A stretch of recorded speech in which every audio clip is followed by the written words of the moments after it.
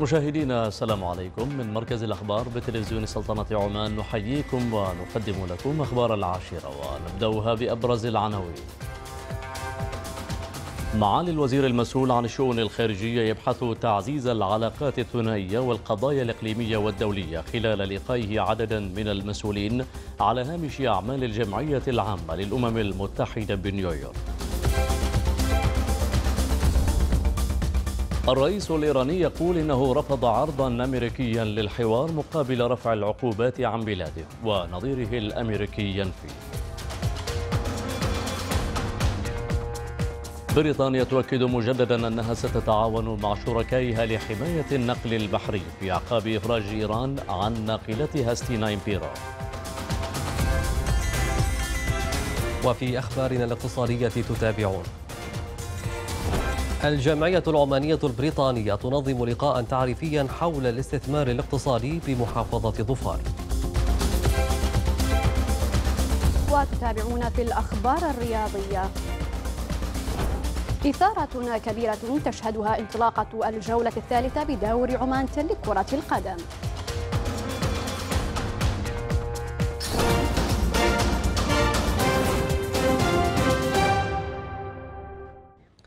أهلا بكم إلى التفاصيل.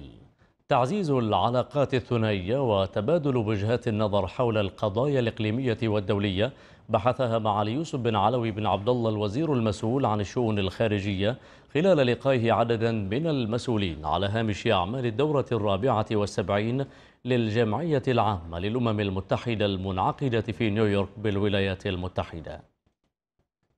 يواصل الوزير المسؤول عن الشؤون الخارجية لسلطنة عمان معالي يوسف بن علوي عقد سلسلة لقاءات ثنائية مع نظرائه من أنحاء العالم لبحث الأوضاع في المنطقة وسبل تطوير التعاون بين السلطنة والدول الأخرى على هامش اجتماعات الجمعية العمومية للأمم المتحدة في نيويورك.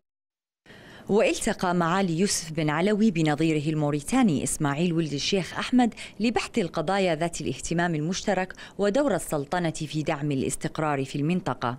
اولا أنا حقيقه جبت رسالة من فخامة الرئيس محمد ولد الشيخ الغزواني اللي تعلمون انتخب أخيرا لصاحب الجلالة السلطان قابوس. اولا بتمنياته له بالصحة وطول العمر. وحقيقه نحن في موريتانيا لنا محبة خاصة وعلاقة قوية مع الشعب العماني. وكذلك ما بين القيادتين. هذا كانت هي الجزء الأول من الرسالة. كذلك اطلعت معاليه على المنطقة والتطورات في الساحل أنتم تعلمون هناك تطورات هشة في منطقة الساحل من الناحية الأمنية في دولة مالي في دولة بوركينا فاسو. وتحتاج دول الساحل حقيقة إلى دعم إخوانها واهتمامهم. أهم عندنا أن تكون عمان سلطنة عمان التي لها دور مهم جدا على علم هذه التطورات الأخيرة. وتطرقنا كذلك إلى العلاقات الثنائية ما بين البلدين. أنتم تعلمون أن سلطنة عمان قررت في السنة الماضية أن ترفع مستوى تمثيله في موريتانيا إلى سفارة لديها سفير الآن موجود وتطرقنا إلى هذه العلاقات الثنائية وارتحنا جدا على مستوى هذه العلاقات الممتاز والذي ما يحتاج إلا إلى تطور أحسن ووقع معالي يوسف بن علوي مذكرة تفاهم مشترك مع الجانب الكيني. We are, we are delighted that I and Minister Yusuf have just signed نحن سعداء بتوقيع مذكرة التفاهم حول التشاورات السياسية لأنها تضع التعاون في أطر عملي. نسعى لتنمية علاقاتنا التجارية والاستثمارية. لدينا وجهات نظر متشابهة فيما يخص عدة قضايا عالمية. وبحث الوزير المسؤول عن الشؤون الخارجية مع مساعد وزير الخارجية الأمريكي لشؤون الشرق الأدنى ديفيد تشينكر الأزمات التي تعصف بالشرق الأوسط. عمان شريك مهم للولايات المتحدة ولاعب أساسي في المنطقة. بحثنا دور عمان والتطورات في الخليج والهجوم الأخير على السعودية كما ناقشنا استراتيجية أمنية جديدة في الشرق الأوسط. وناقش معالي يوسف بن علوي مع وزراء خارجية عدد من الدول العربية من بينها العراق ولبنان والسودان التحديات وسبل التخفيف من حدة التوترات في المنطقة. التعاون بين البلدين وفي موضوعات الدولية ذات الاهتمام المشترك آه ومن بينها آه يعني قدمنا له شرحا بما يجري في السودان وما يتم هنا من فعاليات آه لمساعدة السودان خلال هذه الفترة الانتقالية. هذا اللقاء يندرج في إطار تواصل مستمر بين البلدين. وتنسيق دائم. نحن نتقاسم الكثير من مبادئ السياسة الخارجية ونحن نلتقي في كثير من المواقف حول قضايا إقليمية عربية ودولية. ودائما نحرص على أن نلتقي على هامش الاجتماعات لنتبادل تقييم الوضع لنستمع لبعضنا البعض في إطار هذا التنسيق. اللي هو نابع من إرادة جلالة الملك وجلالة السلطان. ونابع كذلك من علاقات متجدرة بين البلدين. السنة الماضية كنت أنا في مسقط كانت اللجنة المشتركة واتفقنا على مجموعة من الأمور. واليوم بحثنا كذلك كيفية تفعيل مخرجات تلك اللجنة وكيف نعمل مستقبلا على أن العلاقات في كل المجالات تكون في مستوى الذي يريده قائدي البلدين. المبعوث الأممي إلى ليبيا غسان سلامة أطلع معالي يوسف بن علوي على آخر تطورات الأوضاع في ليبيا. تشرفت بلقاء معالي الوزير وأنا لا أفوت فرصة للجمعية العامة للأمم المتحدة أو لمؤتمرات أخرى دون أن ألتقي به وأستفيد من حكمته ومشورته بالنسبة لحل النزاعات في المنطقة. التي له فيها باع طويل وبالنسبة لليبيا بالذات التي يعرفها خير معرفة. الجهود المبذولة لتحقيق السلام في الشرق الأوسط كانت محور لقاء جمع معالي الوزير المسؤول عن الشؤون الخارجية بنظيره البولندي. اليمن من القضايا التي تشغلنا وبحثنا الوضع مع معاليه. وتطرقنا إلى الصراع الفلسطيني الإسرائيلي. كما أكملنا حديثا كان قد بدأ في وارسو حول حشد المجتمع الدولي من أجل تعزيز الاستقرار في المنطقة. وبحث وزراء خارجية دول مجلس التعاون الخليجي برئاسة معالي الوزير يوسف بن علوي مع الاتحاد الأوروبي تطورات الأوضاع السياسية والأمنية والاقتصادية في المنطقة. ووصفت الممثلة العليا للأمن والسياسة الخارجية في الاتحاد الأوروبي المباحثات بالجيدة جدا. لتلفزيون سلطنة عمان هند إبراهيم نيويورك قال الرئيس الأمريكي دونالد ترامب إنه رفض عرضا ايرانيا برفع العقوبات الاقتصادية مقابل عقد اجتماع مع نظيره الإيراني. وكتب ترامب على تويتر: إيران أرادت مني رفع العقوبات المفروضة عليها من أجل الاجتماع، وقلت بالطبع لا. وكان الرئيس الإيراني حسن روحاني قد قال في وقت سابق إن الإدارة الأمريكية هي من عرضت عليه رفع جميع العقوبات المفروضة على بلاده في مقابل إجراء محادثات مع الرئيس ترامب مشيرا إلى أنه رفض العرض الذي كان مدعوما بمناشدات من قادة أوروبا موضحا بأنه لا يمكن التكهن بالنتيجة النهائية لهذه المفاوضات. دعا الأمين العام لجامعة الدول العربية أحمد أبو الغيط المجتمع الدولي إلى التصدي للمحاولات والمساعي لتخريب عمل وكالة الأمم المتحدة لغوث وتشغيل اللاجئين الفلسطينيين ونروى أو تغيير التفويض الممنوح لها لتقديم خدماتها لأكثر من خمسة ملايين ونصف المليون لاجئ فلسطيني. ونشد أبو الغيط بتجديد التفويض الممنوح للأونروا لمدة ثلاث سنوات أخرى في التصويت الذي ستجريه الأمم المتحدة خلال شهري نوفمبر وديسمبر القادمين. أكد وزير الخارجية البريطاني دومينيك راب مجددا إن بلاده ستتعاون مع شركائها لحماية النقل البحري والالتزام بالقوانين الدولية. جاء ذلك في أعقاب إفراج إيران عن الناقلة البريطانية ستينا إمبيرو ومغادرتها ميناء بندر عباس إلى المياه الدولية. أظهرت بيانات ريفينيتيف لتعقب حركة السفن أن الناقلة البريطانية ستينا إمبيرو التي ترفع علم بريطانيا والتي احتجزها الحرس الثوري الإيراني بدأت التحرك وغادرت ميناء بندر عباس يوم الجمعة.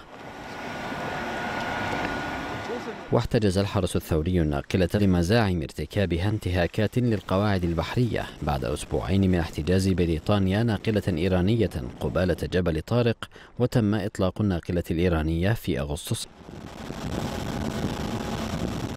وأظهرت بيانات تعقب حركة السفن أن الناقلة حددت ميناء راشد في دبي وجهة جديدة لها على بعد قرابة 250 كيلومترا وبالسرعة العادية تصل الناقلة خلال نصف يوم.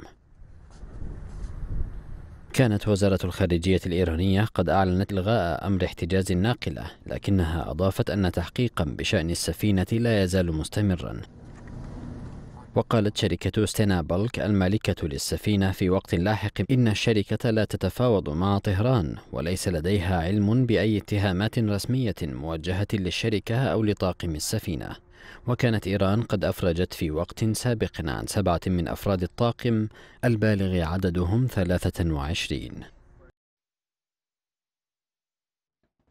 قال الرئيس التركي رجب طيب أردوغان إن استعدادات إنشاء منطقة آمنة للاجئين في شمال شرق سوريا تمضي وفق الجدول المحدد.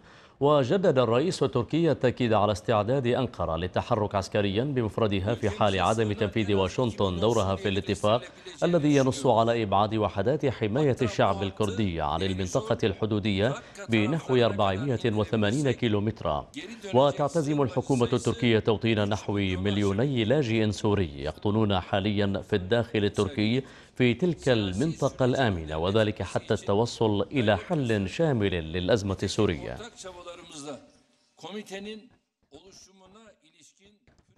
ونبقى في الشأن التركي حيث أعلنت وزارة الدفاع التركية أن الطائرات التركية استهدفت عدة مقاتلين من حزب العمال الكردستاني في شمال العراق.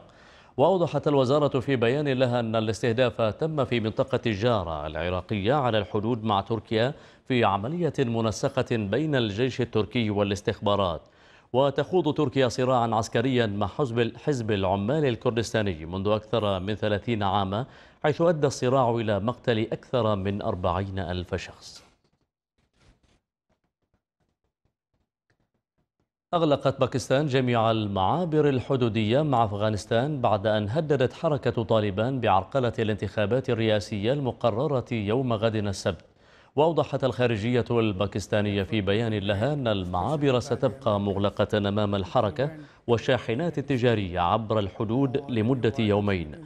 هذا ومن المقرر إجراء الانتخابات لاختيار رئيس أفغاني جديد غدا السبت وسط مخاوف من حدوث هجمات واشتباكات بعد أن هدد قادة مسلحي حركة طالبان بعرقلة العملية الانتخابية.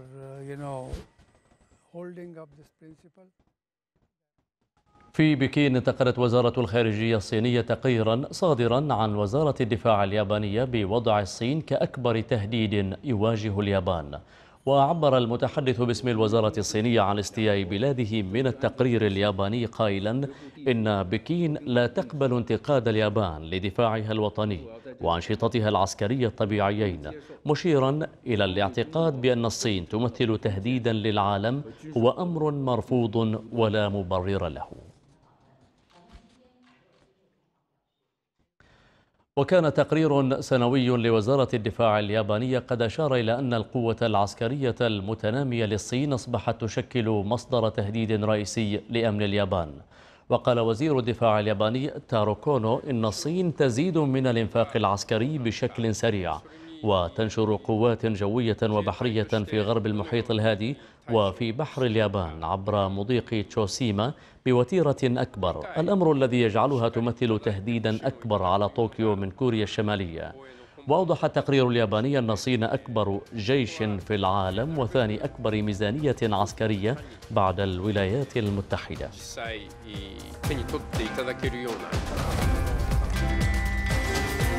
النشرة مستمرة من مركز الأخبار وفيها بعد الفاصل. السياحة الشتوية بمحافظة الشمال الشرقية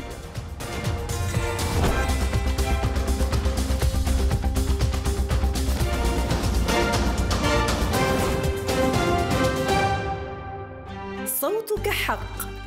فدلي به بقناعة. صوتك أمانة. مع تحيات وزارة الداخلية.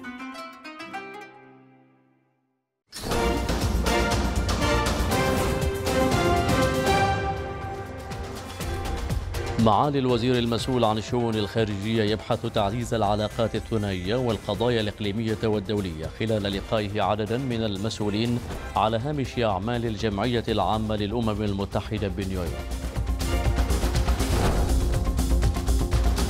الرئيس الإيراني يقول إنه رفض عرضا أمريكيا للحوار مقابل رفع العقوبات عن بلاده ونظيره الأمريكي ينفي. بريطانيا تؤكد مجددا أنها ستتعاون مع شركائها لحماية النقل البحري في أعقاب إفراج إيران عن ناقلتها ستينا إمبيرو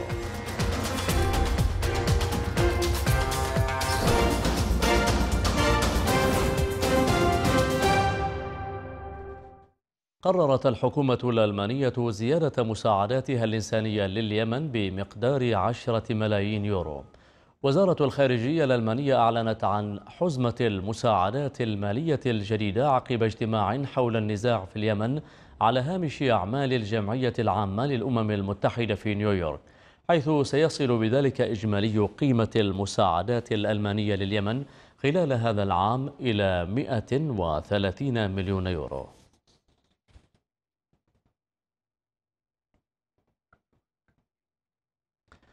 قال قصر الإليزي أنه سينظم مراسم عامة تكريما للرئيس الفرنسي الأسبق جاك شيراك يوم الأحد المقبل حيث سيتم إحضار جثمانه إلى ساحة ليزي إنفالد بالعاصمة باريس.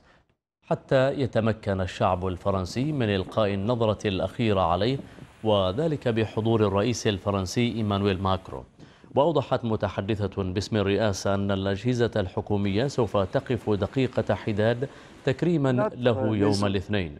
وكان الرئيس الأسبق جاك شيراك الذي ترأس فرنسا عام 1995 إلى عام 2007 وافته المنية يوم أمس عن عمر يناهز 86 عاما ارتفع عدد الوفيات إلى أكثر من عشرين شخصا جراء زلزال بقوة ست درجات ونصف الدرجة على مقياس ريختر قد ضرب جزر مالوكو غربي إندونيسيا. وقالت الوكالة الوطنية لإدارة الكوارث إن أكثر من مئة شخص أصيبوا في حين الحق الزلزال أضرارا بعشرات المباني. وتسبب في فرار آلاف السكان من منازلهم.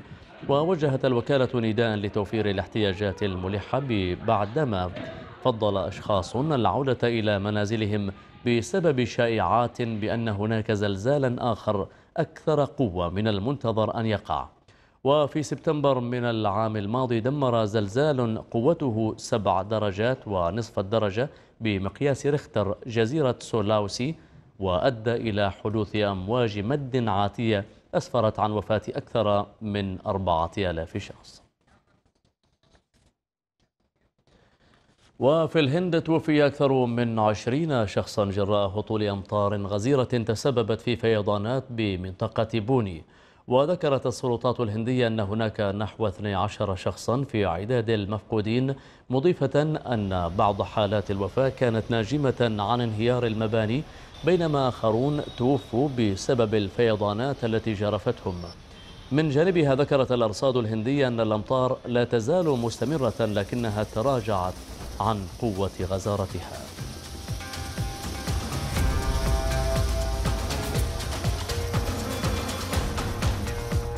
أما الآن مشاهدينا فننتقل بكم إلى الأخبار الاقتصادية مع طلال بن أحمد الكلباني.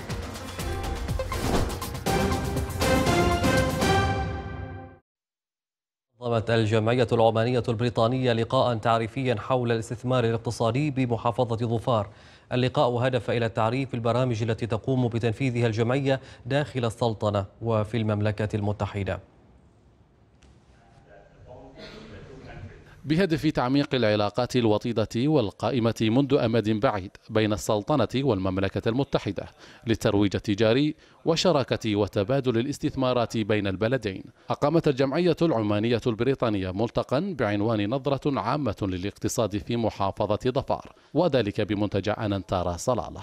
محافظة ظفار هي من المحافظات المهمة في السلطنة وهناك عدة جوانب غير الجوانب السياحية الذي يجب أن ينظر إليها بشكل أكبر.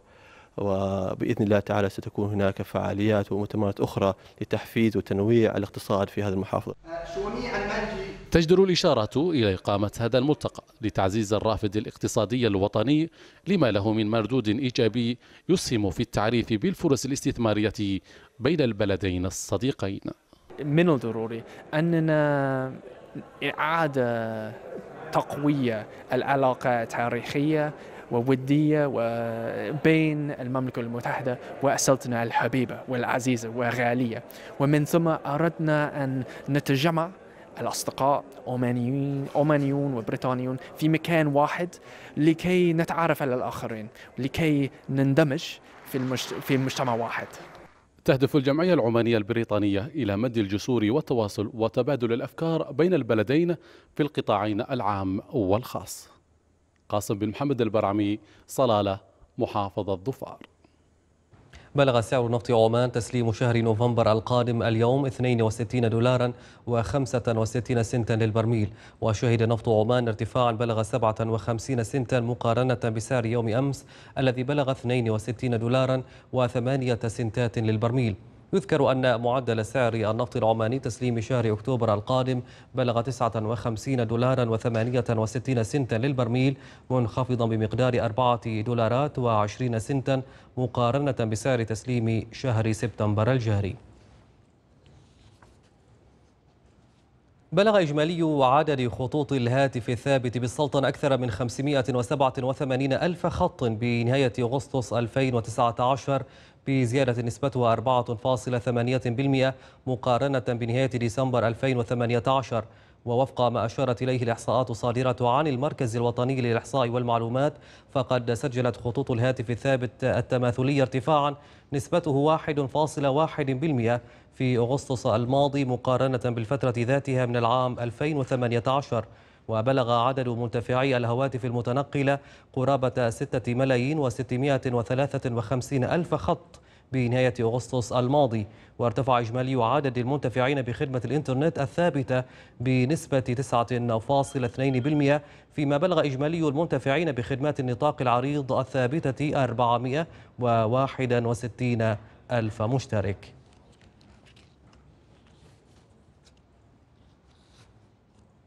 أعلنت وزارة التجارة والصناعة بأن عدد المعارض التي صرحت بإقامتها خلال الفترة من بداية شهر يناير وحتى نهاية شهر أغسطس من العام الجاري بلغ عددها 87 معرضا مقارنة ب 75 معرضا.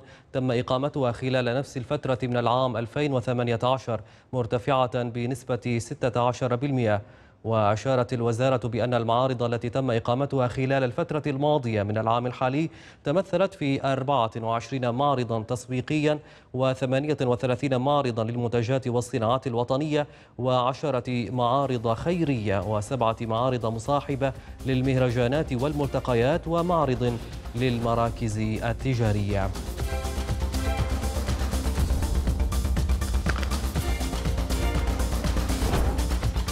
نهاية النشرة الاقتصادية. شكرا على كرم المتابعة وإلى اللقاء.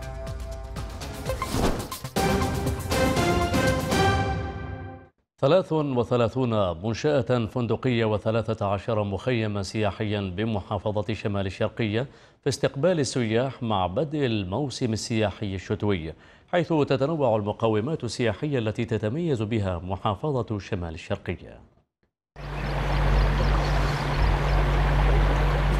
وبدأت أجواء السلطنة بالاعتدال ومعها يبدأ موسم السياحة الشتوية بمختلف ولايات محافظة شمال الشرقية حيث الأودية الجارية والجبال الشامخة والمعالم الأثرية والتاريخية التي تستقطب السياح من داخل السلطنة وخارجها. We are here since um, for two weeks. We are from Munich um, and stayed first in Muscat. نحن هنا منذ أسبوعين تقريبا. بدأنا من مسقط ثم زرنا طيوي بعدها زرنا الأشخرة والآن نحن في المخيم الصحراوي. الرغبة الحقيقية لدى الكثير من السياح في اكتشاف أسرار الرمال الذهبية وطبيعتها بالمحافظة.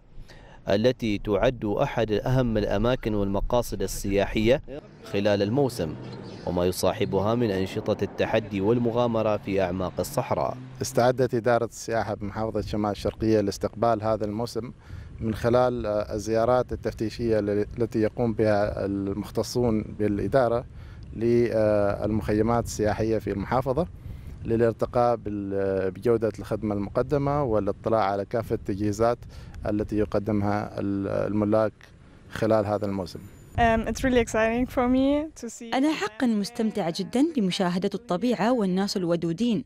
وبكل هذا أنا أشعر أنني مرحب بي كسائحة المخيمات السياحية التي تم تهيئتها بكافة الخدمات السياحية تحظى هي الأخرى بجاذبية خاصة لدى السياح والزوار الذين يستمتعون بركوب الجمال وعبر حزمة خاصة من البرامج المتمثلة في قطع الرمال الذهبية من خلال القوافل التي تسير من مواقع المخيمات السياحية إلى مواقع أخرى في مناطق مختلفة لعدة أيام وليالي.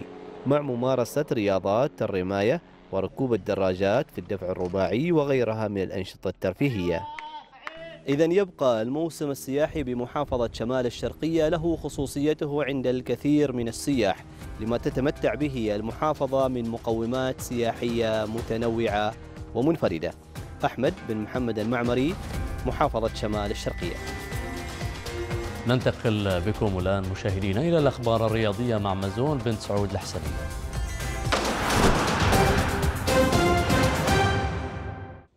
شكرا. خلفان أهلا بكم مشاهدينا تعادل السويق خارج ملعبه مع الرستاق بهدف لهدف وذلك ضمن افتتاح الجولة الثالثة من دوري عمان تل لكرة القدم في المباراة التي أقيمت على مجمع الرستاق الرياضي.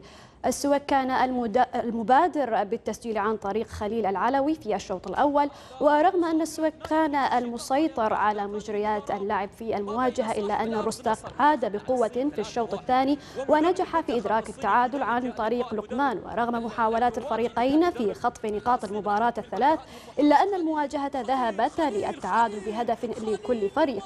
التعادل منح الرستاق النقطة الخامسة من تعادلين وحالة انتصار في حين كسب السويق النقطة الأولى بعد خسارتين في الجولة الأولى والثانية. وفي مباراة أخرى تعادل فنجة ومسقط بهدف لهدف.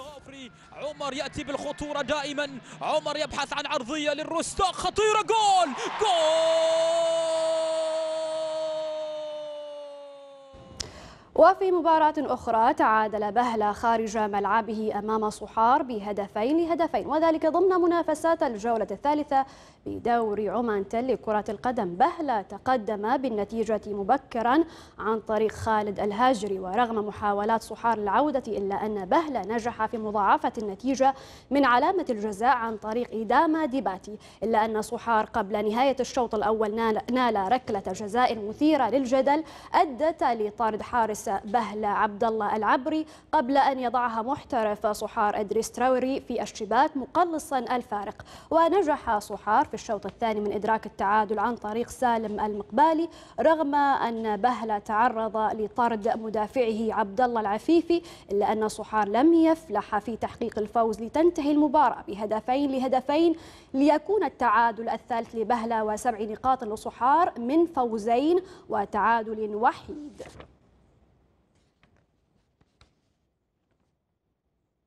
حقق مصير فوزا صعبا على المضيبي ضمن المرحلة الأولى بدور المجموعات بدور الدرجة الأولى ورغم الفرص الكثيرة التي شهدتها المباراة إلا أن مصير نجح في خطف هدف الفوز عن طريق لاعبه عبد الملك منصور.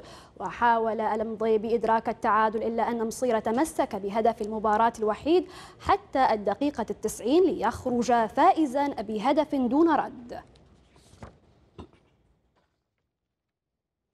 عقد مدرب المنتخب المصري الجديد حسام البدري مؤتمرا صحفيا بعد تعيينه خلفا للمدرب المكسيكي خافير أغويري. وعين الاتحاد المصري للعبة المدرب المصري حسام البدري على أمل تحسين النتائج المخيبة التي مني بها المنتخب مؤخرا خاصة في بطولة أمم أفريقيا لكرة القدم على أرضه في 2019 والتي خرج منها مبكرا رغم أنه كان مرشحا لنيل اللقب. محمد صلاح قريب إن شاء الله. على أساس إن أنا بأكد إن محمد صلاح مهم جدا بالنسبة لنا. وفي خبر آخر حيث كشف مسؤولو ناديي ميلان وإنتر ميلان عن تصميمين محتملين للملعب المشترك الذي يعتزم الفريقان تشييده فوق الملعب الحالي.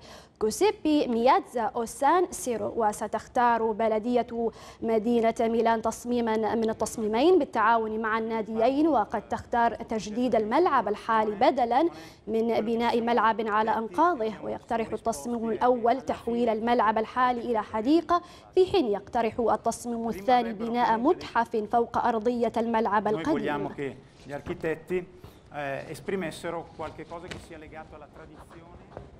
وبعيدا عن أخبار كرة القدم وتحديدا إلى التنس حيث تأهلت المصنفة التاسعة أريانيا سابلينكا إلى نهائي بطولة يوهاما للتنس بعد فوز على المصنفة الأولى الأسترالية أشلي بارتي وجاء فوز البيلاروسية بمجموعتين دون رد بسبعة خمسة وستة أربعة. وستلاقي سابلينكا في النهائي الأمريكية أليسون ريسيك غدا السبت.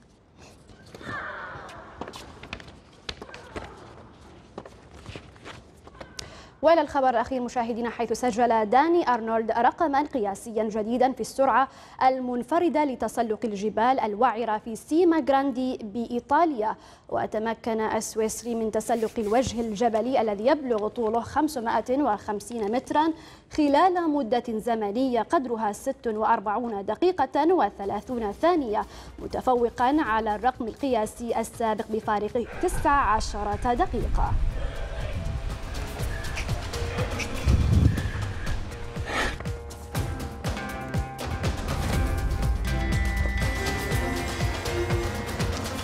مشاهدينا وصلنا بكم إلى نهاية الأخبار الرياضية. عودة الآن إلى خلفان العامري.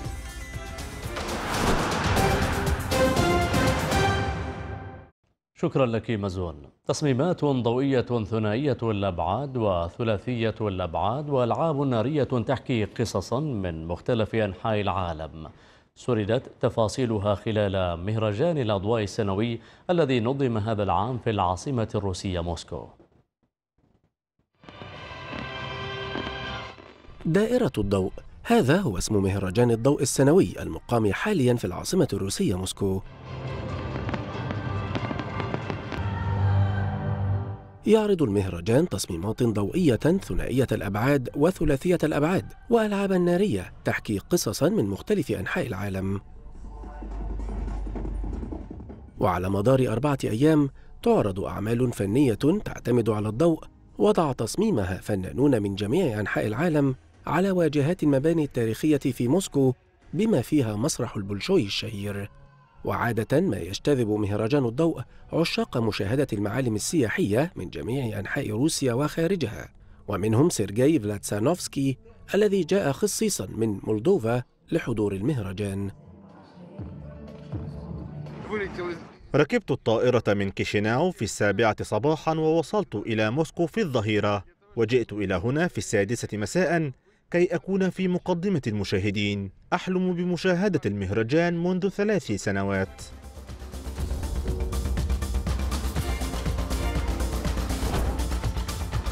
النشرة انتهت مشاهدينا وهذا تذكير بالعناوين.